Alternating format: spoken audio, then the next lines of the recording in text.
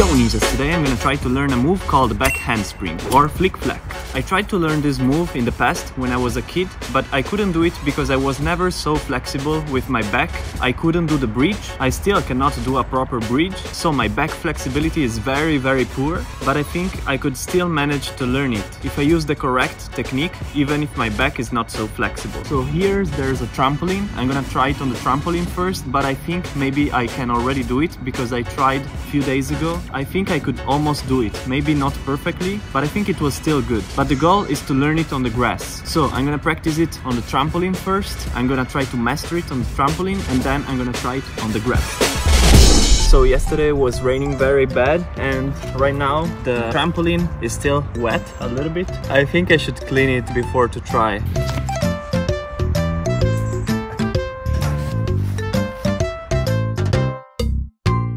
Still a little bit dirty and wet, but uh, never mind. I will try it a little bit sideways first and then I'm gonna try to make it more straight. I will do it very gradually. So I also warm up in the meanwhile. I'm gonna start with kind of like a macaco and then I'm gonna, I'm gonna try to transform this macaco to a flick flack or back handspring. Let's start very slowly from here.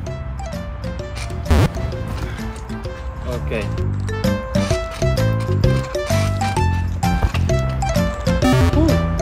maybe from here. I'm gonna try to do it sideways from here. I'm gonna try also on the other side. Now I went towards my left shoulder. I'm gonna try also towards my right shoulder to see how it goes. It feels more unnatural on this side. Let's start from a, a capo.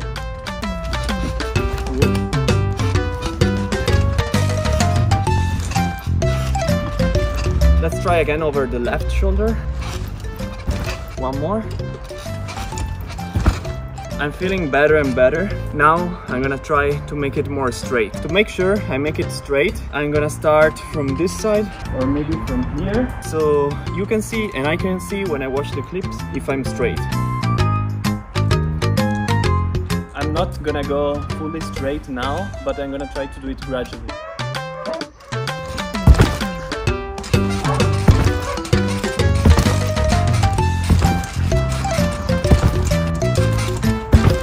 Think the last one was straight.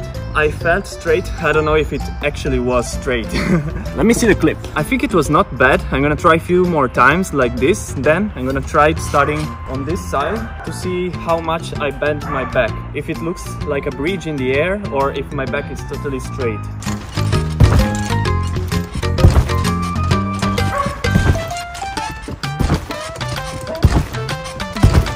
Whew, I feel good. Let's try sideways.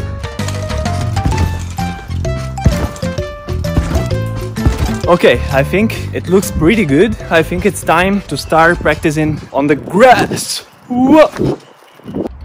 So the grass is very wet. I'm gonna remove the socks. Otherwise my socks are gonna be very wet.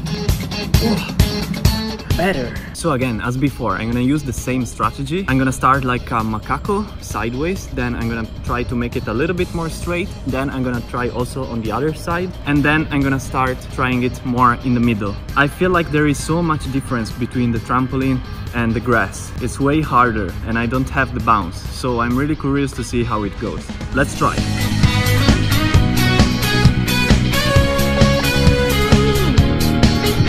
Can really notice the difference, especially on the arm, the arm's impact. On the trampoline, I felt like I was almost not touching with my hands on the floor because it was very bouncy and very soft. Instead here, when I land on my hands, I really feel the pressure and on my arms. It's way heavier. Let's try more.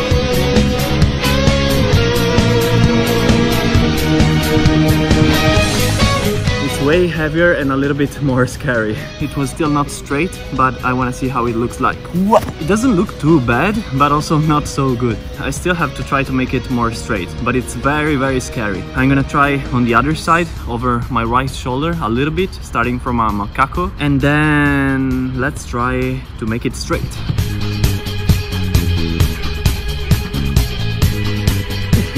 over the right shoulder, it's even scarier. Over the right shoulder is still too scary. I'm gonna try just to make it over my left shoulder and try to go more straight gradually.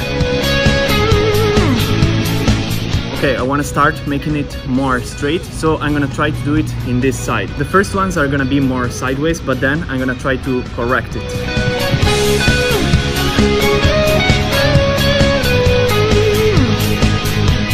Last ones were not too bad. I think it's all mental. I'm just afraid. I could do it easily, I think, but I'm just afraid to fully commit and go backwards. I'm gonna still practice a little bit diagonally. When I feel more comfortable, I'm gonna try to commit and go straighter.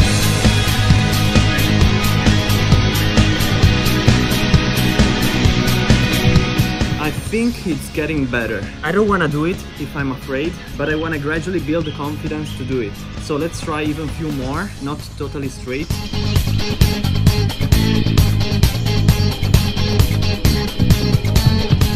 Das ein neues Video, er lernt wieder eine Skill. Fallo di nuovo! Fallo di nuovo! I feel like I'm very close, but it's so scary. Whew.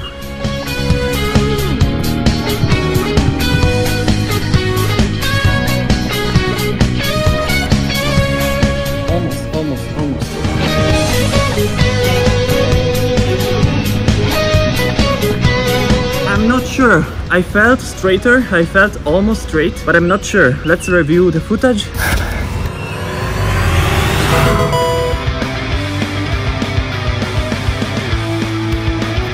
Ooh, I think the last one was good. It was not perfectly straight, but I think there are still considerable like back handsprings. So I think it was successful. I'm pretty happy with the result because at first I was not able to throw myself in this way. I can do the backflip, but going lower and stay with the head closer to the floor, it's way more scary for me. I feel like if I'm not careful, I can just crash my head on the floor, my face on the floor, or my neck, I don't know. With the backflip instead, I don't feel that it's too scary because I jump higher and I'm way more far from the floor and I can feel my body up in the air. In this one, I feel my body so low and so close to the floor that it's scary. But yeah, let me know in the comments what you think. I think it was successful. I'm gonna try a few more times and peace. Yo ninjas, see you next time.